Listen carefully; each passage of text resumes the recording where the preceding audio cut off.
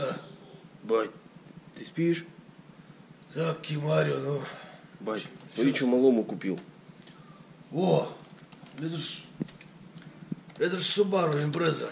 Не знаю, какая еще Субару, просто синяя машинка какая-то. Ты что? Это же Subaru. В мои времена моей молодости такие были. Что такое импреза? О, я сейчас тебе расскажу одну историю, поведаю. Был такой Форестер, красный.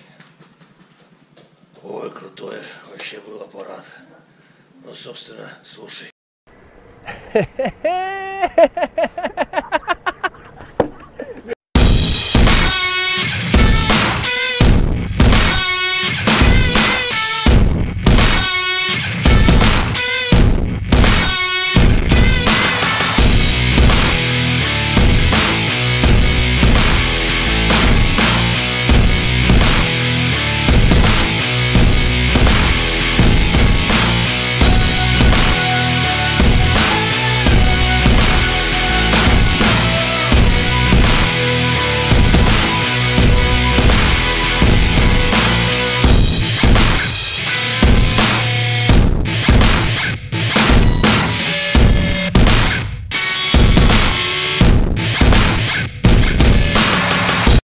Всем привет!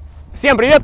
Сегодня у нас в обзоре легендарная тачка всех времен и народов Subaru.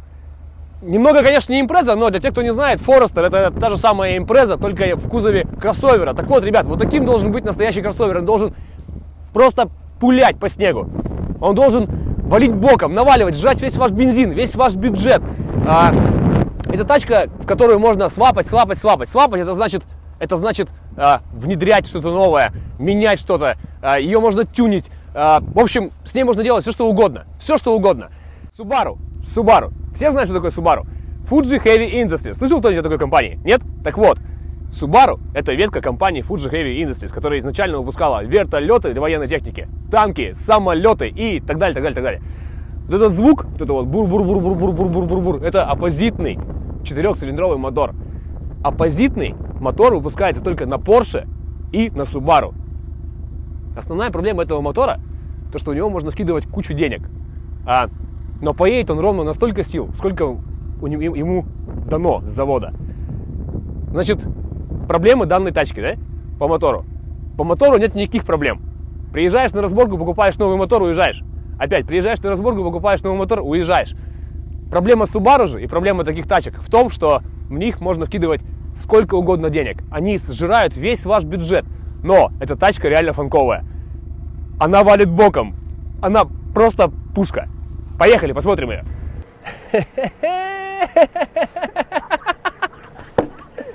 Делись тут просто начинает умничать. СГ-9, там СГ-8. Короче, просто классная тачка. Она красная. Красная тачка, значит классная, правильно? Саш, ну скажи же. Да. В общем, ребят, это та самая контора, та самая фирма, которая не скупилась на алюминий. И капот у данной тачки алюминиевый.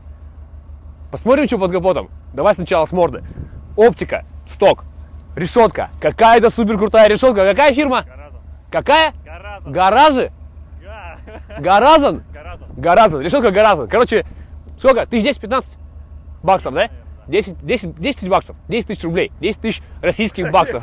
Что, реально 10 тысяч баксов? Рублей, конечно, каких Дороже, чем машина, что ли? Не, нормально. В общем, суть такова, да, дальше.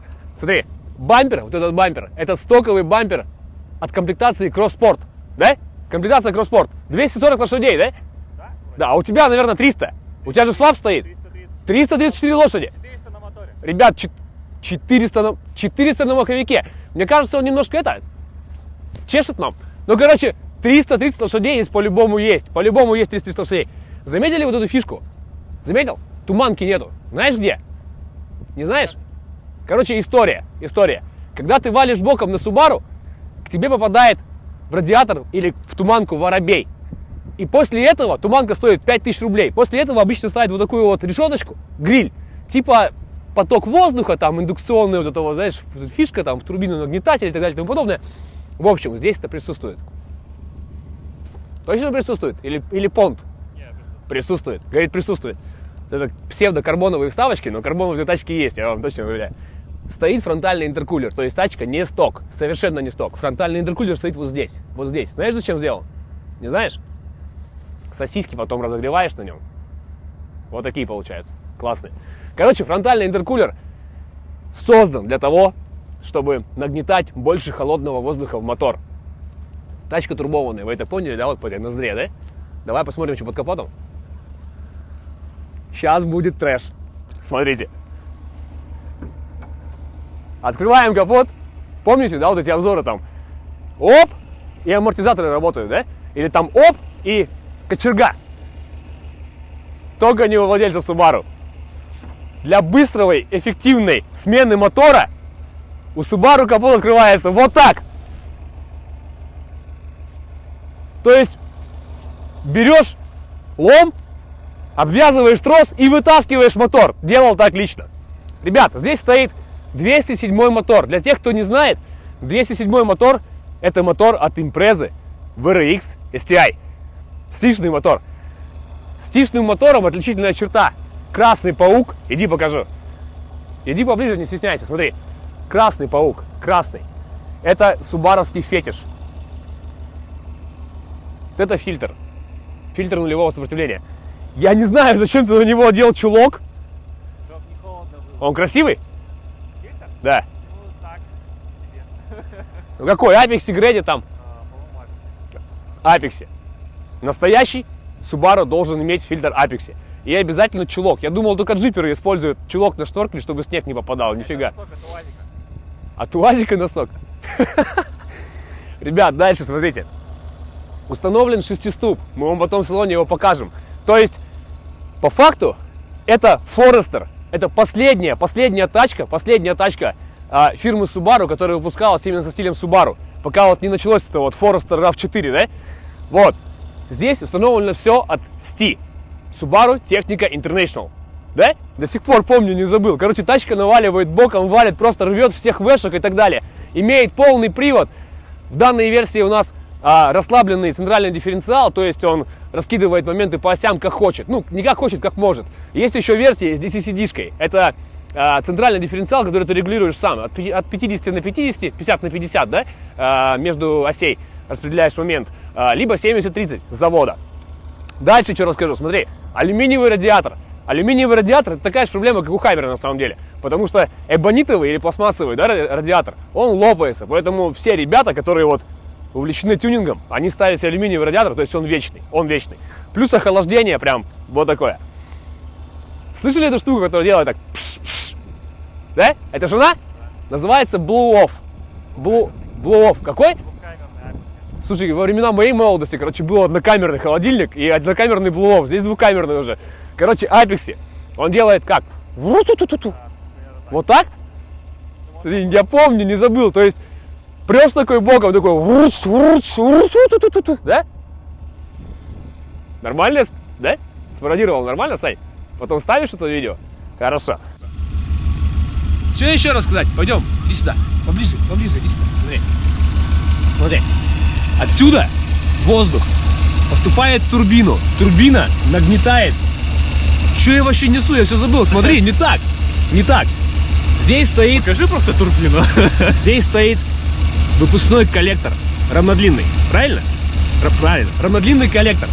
То есть вот этот бук, звук, звук, вот этот бу-бу-бу-бу-бу субаровский, он здесь как бы немножко отошел на задний план. Здесь уже более такой рядный звук получается за счет равнодлинного коллектора. Далее, равнодлинный коллектор заходит в турбину, разгоняет турбину крыльчатку горячей части, холодная часть крутится, сосет воздух и туда его, туда, туда, вот сюда. Это называется э, впускной коллектор. Впускной коллектор уже непосредственно загоняет э, в камеру сгорания воздух вместе с э, топливной смесью и так далее. В общем, в этой тачке поменено практически все. Поршневая не кованая, Родная ковань стоит. родная ковань. Ну, насколько известно, вроде Ну, вот это вот родная ковань, стичная, ну, да. В общем, ну, усиленный поршня стичной группы. Хорошо. Короче, 300 лошадей, 300 лошадей. Самый фетиш это вот эти напульсники STI. Клюшек под капотом нету еще? Он. есть крышка от аквалайна на омывайке. Клюшка от кого? От аквалайна. От аквалайна? 5 литров. Вон омывайка. синяя. Тебя гейт стоит? Да. Я же говорил, ты слышишь. Турбина гейтовая, в курсе, да? Ничего себе. Это вот, да? Да, да, да. Все с полтысячи. Классное дело, Где-то классно. считается. Так как тачка попала нам после такой раскадровки, боком, да, боком, немножко, может быть, не видно, но, ребят, здесь, здесь, в этой модели, не в этой модели, вот именно у этого владельца, именно в этом экземпляре установлены тормоза Gold Brembo, четырехспотовые спереди и двухспотовые сзади. Тормозят просто колоссально. То есть, если ты дубасишь по трассе 200 км в час и кошка перебегает дорогу, то это просто safety first. Эта тачка и остановится. Она остановится, она не перегреется, она остановится, дальше еще не задавит собаку, не задавит бурундучка, не задавит, никого не задавит. То есть тор- такие тормоза, такие тормоза заслуживают отдельной похвалы. Сколько комплект стоит? 60? Что-то 1060, да. 60, да? Вот 60 тысяч, ком- 60 тысяч рублей и комплект у вас как бы в кармане. Саш, на клюкер поставим? 60 рублей. Да? Продашь? Нет. Нет? 70 даю. Нет. Юаней. Долларов. Долларов. 70 тысяч долларов. Ты издеваешься. За 70 тысяч долларов я себе Мазерати куплю. Куплю? По-любому потом куплю когда-нибудь. В общем, тормоза зас- заслуживают отдельной похвалы. По поводу клиренса да- данной тачки мы ничего вам говорить не будем. С завода это кроссовер. Но есть такое поверье на Дальнем Востоке, как бы, да, там, чем ниже город, тем ниже приоры. Здесь у нас наоборот, там, Форестеры ниже, там, э, эстишки ниже, импрезы, да, урви, это вообще отдельный разговор. Ну, то есть, тачка как бы низенькая, да, немножко, а с завода у нее, наверное, клиренс там 187 миллиметров, да? Да? Повыше. Повыше, да? Ну, как джип, короче, нормально. Там Для города нормально. Об экономичности данной тачки вообще ничего вам говорить не буду. Здесь просто... Материться можно, да? Fuck fuel economy, можно скажу? Просто fuck fuel economy. Короче, если бензин будет стоить по 100 рублей, а- одинаково. Что ты заправишь Kia Sportage, что ты заправишь Форестера. На Форестере покатаешься день, а на Kia покатаешься, ну, неделю, наверное, да? Короче, жрет данная тачка 25-30 литров Больше. У меня 20. э, на прогреве. На прогреве. Вот, короче, жрет бензин вообще на раз-два. 98 да? Форсунки Ки стоят 720 730. 730, 730 кубич- кубических сантиметров. Ну, на джимнике мотор 660 кубиков, здесь форсунка одна 730, понимаете, да? О чем речь? Так вот, посмотрим багажник. Пойдем. Заглянем в багажник. Есть шторка, да? Она, наверное, больше декоративную функцию несет, наверное, да, все-таки? Трещит. Как? Трещит. бывает. Трещит? Трещит. Шторочка вот эта раздвигается и... Канистра! Потому что тачка жрет просто, просто колоссально, как, как бык помои. Канистра. Пятнашка? 20. Дв- Двадцатка. То есть на прогрев зимой вот с собой владелец возит эту канистру. Что еще есть? Есть сабвуфер, не замерзаечка и... Потом вот это вот замажешь ликвимоли, чтобы мы гигант не рекламировали, да? Знаете зачем? Мотор жрет масло. Жрет же. Как ни крути, как ни крути, субаровский мотор в любом случае жрет масло. И есть такая, такое, не, не поверят, традиция, да? Традиция. Человек, у которого Subaru, он каждое утро выходит, каждое утро выходит, открывает капот и проверяет щуп. Есть ли на нем масло? Знаете зачем? Чтобы не провернуло четвертый цилиндр, вкладыш четвертого цилиндра. У каждой тачки есть проблема, так вот у Subaru проблема это вечное голодание четвертого горшка. Четвертого горшка. Но масло рафинированное не пробовал заливать? Э, Нет? У меня была история, у меня знакомый, знакомый, наверное, году в 2007 а, купил себе Марка и спрашивает у меня, ты что, говорит, заливаешь? Я говорю, минералку. Он пошел себе в первом купил минералку, воды островной залил, у него мотор стуканул. Серьезно, не вру. Блин, вообще классно. Ну, в общем, родной сабвуфер, да, есть? Да, стоит родной. Родной сабвуфер есть, но этого мало, поэтому мы ставим еще полтора киловатта вот сюда вот, просто чтобы качало. Стекла нормально, ни- ничего не убивает? Плекс, да, наверное? стоит? Плекс. Ну, как-то вот с багажником все.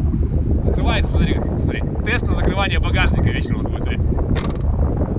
2002 год. 600 тысяч, да? 650. 600. Ты чё у тебя все вот 50, 60, вот, вот. 650. Пошли дальше. Давай. Здесь, короче, у нас проблемка. Мы сидим на брюхе. Я ноги отряхаю, я уважаю владельцев. Так вот, ребят, высокий потолок. Чтобы понимали, у меня рост метр восемьдесят восемь. Ну, был, по крайней мере, на первом курсе, когда в армию призывался. Сейчас, может быть, метр восемьдесят пять, я не знаю, усох. Но суть такова, то, что очень-очень большой запас над головой, это удобно. Задним пассажирам очень удобно в Subaru, хорошая посадка, то есть эм, твоя пятая точка сидит чуть ниже твоих колен. И это дает тебе пространство перед ногами. Есть подлокотник, он открывается очень просто. Вот так. Никаких рычажков, никаких там систем. Здесь не лежит пультов, наушников или что-то еще. И, ребят, вот это знаете, что такое? Это домакун. Да? Это же дома. Да. Это дрифтерская тема, вообще GDM такая тема японская. Э, Когда-то у меня была такая игрушка ровно три дня. Потом у меня ее экспроприировали, поэтому у меня дома нету. Кинь в камеру. Хорошо? Всё, давай. Вот, в общем, что еще рассать про задний салон, про задний салон? О, это что такое? Это свет. А это что такое? Это, не знаю, это ну просто какой-то отдел под что-то. Под телек, может, под очки. Слушай, я первый раз вижу такую. Это, Это, это какая- тачка бардачок. Слушай, здесь столько бардачков. А один там, а, нет, там подушка, да? Это Там в импре- подушка, да, Это в это импрезе в. ГЦХе было у меня сверху бардачок и снизу бардачок. Здесь, наверное, вот это вот. От ну, комплектации зависит, там Ага. еще куча подстаканников. слушай, ну классно. Здесь раз бардачок, два бардачок, три бардачка. Я первый раз вижу на потолке три барда... на потолке три бардачка. Блин, ребят, ну давайте сядем на место водителя, наверное, да? Пойдем. Автоматом двери закрываются. Автомат. Автоматические двери. Просто раз рукой провел, ништяк. Пойдем. Мигает. не- Дефи? Дефи. Реплик. Реплика? Че, сейчас уже выпускают реплику Дефи? Да. Блин, во времена моей молодости такого не было. Итак, ребят, короче, это первая тачка. Это прям вообще ностальгия. Слушай, я ностальгирую. Три педали. Здесь три педали. Сцепление, тормоз и газ. Такой должна быть правильная тачка, настоящая тачка. А, что здесь установлено? У нас установлен датчик депа.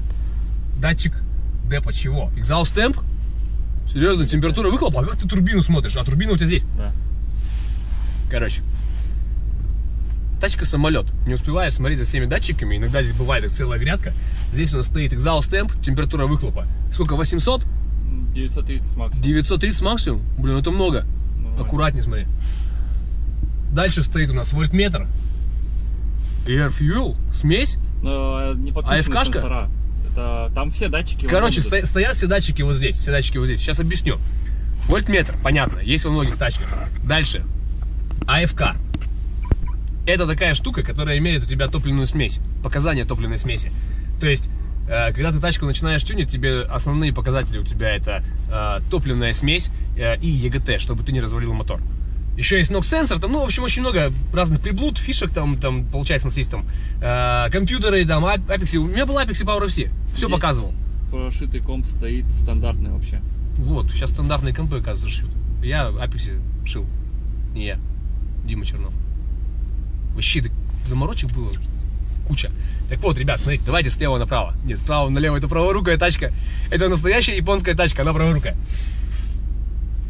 Смотри, под правой рукой у тебя 4 стеклоподъемника, центральный замок, блокировка, блокировка окон, а, зеркала, регулировка зеркал и что это такое? А, складывай, да, зеркала? Мгм.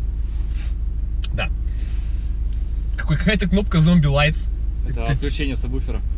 Это включение Это сабвуфера. отключение, включение, если мешается. Зомби lights. Короче, регулировка зеркал главного света. Угол, да? Обогрев заднего дворника или переднего? Э, Передних Передние дворников. дворники. Обогрев передних дворников. Руль Momo. Momo, Италия. На японской тачке стоит итальянский руль. Это все с завода. И дальше самое интересное. Ты смотришь на спидометр, 180 км в час, посередине у тебя спидометр, тахометр до 7000 оборотов. С левой стороны у тебя э, топливо, температура и раз, два, три, четыре, пять, шесть, семь. Семь позиций автоматической коробки передач. Автоматической, ребят. Чтобы вы понимали, тачка на коробке. То есть первая, вторая, третья, четвертая, пятая, задняя. А нет, стой, шестая, Шестая. шестая. А задняя включается вот через такое поднятие. Теперь задняя. А чё, почему панель не поменена до Свап. сих пор? Свап? Так вот, ребят, это настоящий свап. Дальше. Аналоговая регулировка климат-контроля. Климат-контроля здесь никакого нет, здесь есть просто печка. Либо она греет, либо она не греет. Потеха, Alpine мененная, да, уже? Реплика? М, Оригинал. Потеха оригинал. Потеха должна быть оригинальной, чтобы качать. И самое, что классное в данной тачке, именно в данной тачке, это, конечно, сиденье. Водительские сиденья, полуковши так называемые, э, фирмы, вернее, не фирмы, а подразделения Subaru STI. Вообще, для тех, кто не знает, это сиденье Рикара. Ты знал это? Нет. Это сиденья Рикара. Это настоящие сиденья Рикара, э, которые шились именно, ну, как бы шились, производились и так далее для стихи. То же самое э, производилось для Геттера 32-го, 33-го э, и для Эвика. Только для Эвика они именно шли именно Рикара вот с такой нашивкой. А все остальное, вот, с Титом и так далее, то есть это вот было, ну, классно. То есть при боковых ускорениях, так называемых, поддержка боковая просто колоссальная. У тебя никуда не съезжают ни ноги, ни спина. Это самые классные сиденья вообще и на дальняк, и по городу кататься, наверное, и по трассам. То есть, блин, если бы была возможность поставить у меня в тачку какие-нибудь такие сиденья, я бы поставил. Поставь. Я не могу. Не могу. Ты видел этого слона? Ну да. Ну, там кожа должна быть по-любому. Кожа, рожа. И так нет. У меня, кстати, друг знакомый, э, друг знакомый, друг, друг поставил себе в сурфа 185-го сиденье Рикара. М. Именно для сурфа. То есть, сиденья классные. Что имеет пассажир? Пассажир не имеет ничего, кроме как бардачок и подушка безопасности. Больше пассажиру ничего не надо. Почему у него, вообще, у него еще есть спасательный жилет там? Спасательный кто? Жилет. Это? У пассажира есть спасательный жилет. А зачем это? Ну, Это если подушка не а, раскрылась, жилет вдруг- подкачать? Вдруг утонет. Хорошо, есть, у пассажира есть спасательный жилет. Это, наверное, фетиш владельца, я не понимаю, зачем он, но он есть. У тебя, может, мечта там стюардесса? Там, Это ж типа, мы, почти. мы тонем, тонем, там, пф, надо Надо стюардесс сюда завести потом. Смотри, девушка твоя тоже будет смотреть. Она, она стюардесса? Нет. Это палево вообще какая-то. Дальше. У нас есть свет. Свет диодный. И еще два бардачка, ребят. Раз бардачок и два бардачок. Короче, если ты семирукий, восьми глаз, у тебя должно быть раз пара очков, два пара очков. Еще, короче, вот сюда вот так вот можно, смотри, пару очков воткнуть. Вот так, вот так. Сюда можно очки воткнуть и вот сюда положить. Зачем это? Я, я не понимаю, но это классно, слушай. Вот, ладно, в общем. С бардачками в этой тачке все... Все классно. А прижмем. Да не так, не так резко. вот так закрывается. Что, еще есть? Пассажира тоже есть. Настоящая пацанская машина. Заметили? Я открыл зеркальце, и свет не зажегся.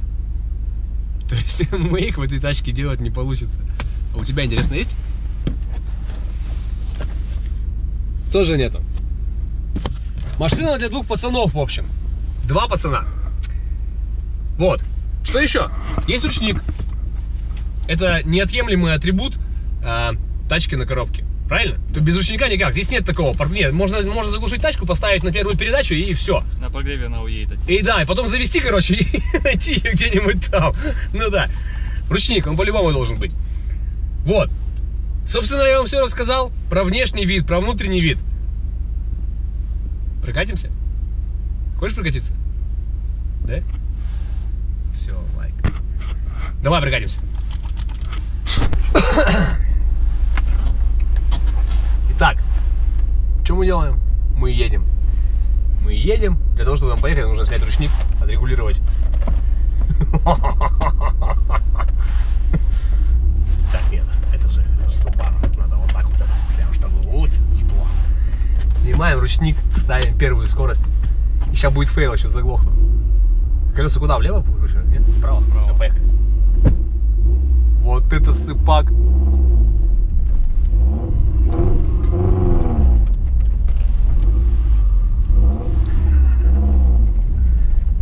Да что такое? Почему я боюсь?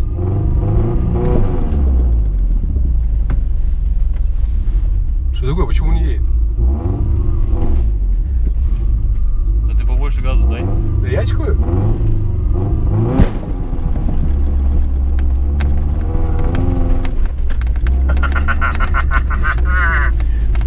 Коробка Сумару. Боком, боком. Нормально, все нормально. Все нормально, едем. Пропускаем туристов. Блин, на самом деле здесь, знаешь, что неудобно? Здесь неудобно, что тачка изначально была на муфте. Места, mm -hmm. места под ногу, под левую мало. Ну, да. И нету, э, нету сапожка. Обычно в тачках, э, в японских, не, не знаю, как в европейцах, в японских точно, на коробке есть сапожок под левую ногу. То есть, чтобы... Он, он просто, в смысле, его не поставили, короче, не вернули. Да, да, да. И места, места вот мало, прям чувствуется, что, что педаль впритык. Итак, ребят, далеко ехать не будем. А, вот оно, вот оно.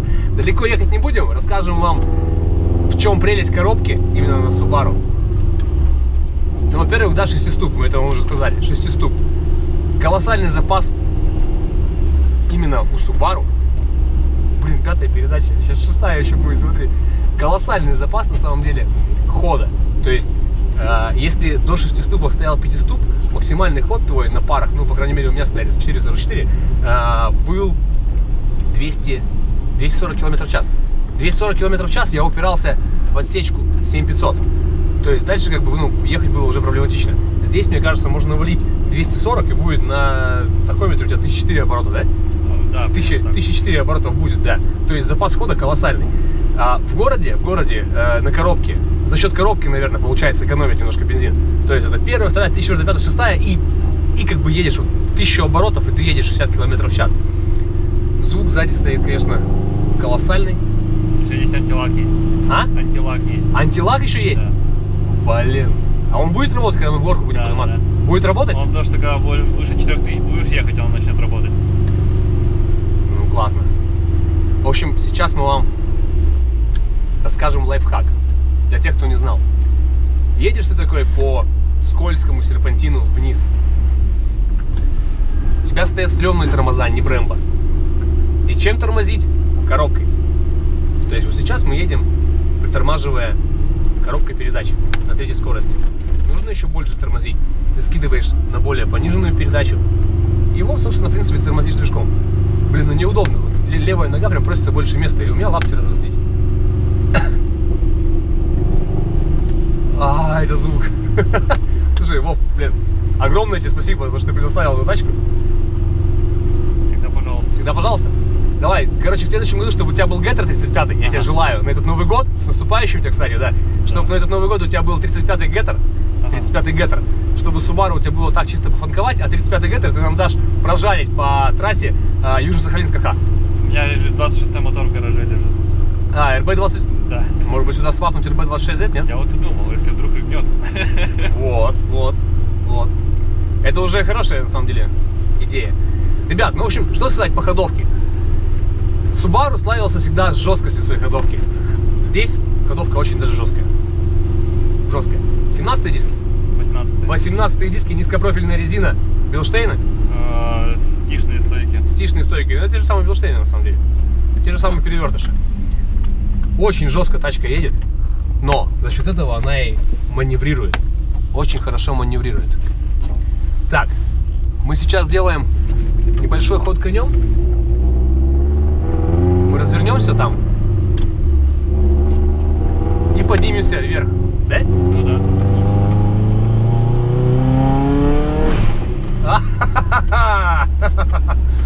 Это вот...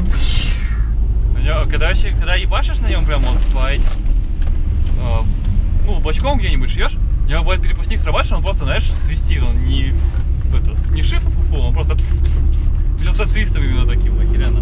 Понял.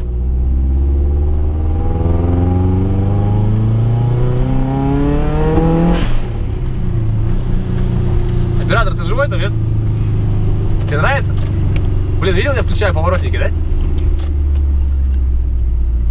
Это фенечка японских машин. Поворотники включаются с правой стороны, а дворники с левой.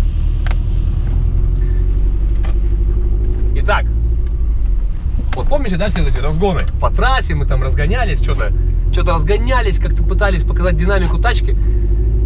Ребят, в горку. Мы едем в горку. Сань, чтобы ты понимал, да, ты же сидишь сзади, да, тебя видно в кадре, не видно? Короче, чтобы ты понимал, смотри. горку, едем в горку, Сань. Нормально?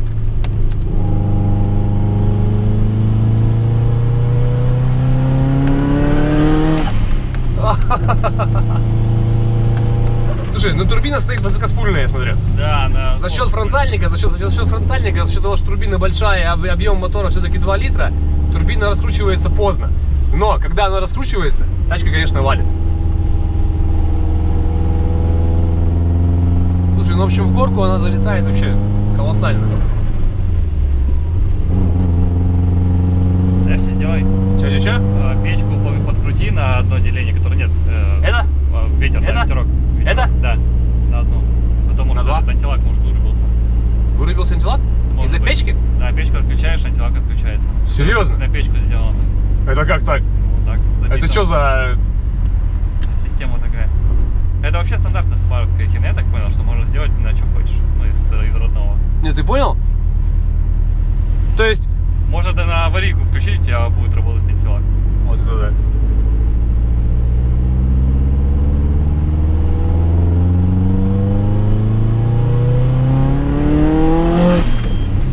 Потом слышно, сейчас потихонечку что-то работает. Да. Все слышно. Слушай, ну, блин, короче, очень классно. Я даже не знаю, что еще про эту тачку рассказывать. Это не, не, не, не дорожник, не кроссовер. Ну, в смысле, это кроссовер, но он прет. В общем, ребят, если вы ищете последних из, из магикан Subaru, то, конечно, это GDB, GDB, GRB уже более-менее как-то приближено к Toyota. И вот этот Forester SG5. Слушай, ну классно, блин, мне очень нравится. Очень нравится. А сцепление керамику собираешь ставить, нет? Я думал, но пока я не знаю, когда будет с усиленной корзиной вместе работать, насколько жестко. Не, надо, тогда надо, надо, надо по-любому ставить. На керамике прям совершенно другая отзывчивость. Я в первые дни, когда его забрал, поехал э, с ланча замерить э, разгон до сотки, короче. Как ты думаешь, что произошло? Не знаю. Я порвал привода. Порвал привода. Первые же два дня на нем езды на нем. Вот так. Так, сейчас я покажу немножко кое-что с салона. Интересно. Да, Саш? Да, Саш. Он вечно молчит у меня.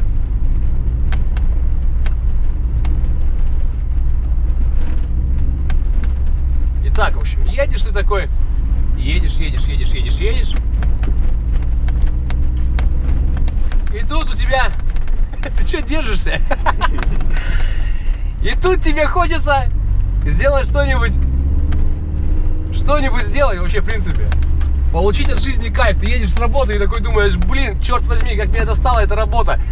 И ты такой берешь, уворачиваешь руль влево, Сань, и просто нажимаешь газ.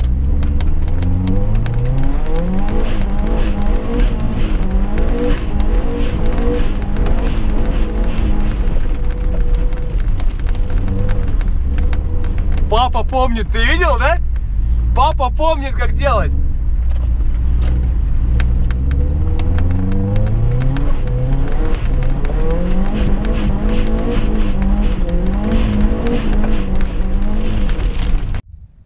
Просто, просто что чувствую? Что чувствую? Мы Ребят. забыли это. Если о чем мы забыли рассказать, это про рейку коробка. Да не, нормально что. Мы сейчас про нее расскажем. Ребята, еще забыл сказать, да, установлена короткая рейка. Короткая рейка, рулевая рейка. Ну, то есть повор- поворот вот эти вот там полтора. В общем, полтора оборота руля, и у тебя полностью вывернутый руль. Классная штука. В общем, что я чувствую? Что я чувствую после этого обзора? Я чувствую после этого обзора невосполнимую утрату по тому времени, когда я катался на таких тачках. Э, Сегодня было просто море впечатлений. Э, Нам понравилось всем. Э, Наверное, мы сейчас бахнем чего-нибудь, да? Для расслабления. В общем, скажу так. Если ты молод и красив, или даже не красив, а просто молод, ты обязательно должен покататься на такой тачке. Ты должен это ощутить полностью, всем телом, э, всем своим сознанием, всем душу, всей, всей душой. Э, И все-таки, если у тебя есть эти вот 600-650 тысяч, не покупай скучные кроссоверы. Купи реальную трушную тачку. Купи. Не знаю. Как хочешь, выиграй лотерею. Что хочешь, как хочешь, ну купи. Тебе вкатит, тебе понравится. В общем, владельцу большой респект. большое спасибо. Вон, сними его сзади, видишь, там что-то что сзади нам передает. С наступающим всех. С наступающим всех, да. Спасибо вам большое, Владимир. А, классно, классно. Все, до скорых встреч, всем пока.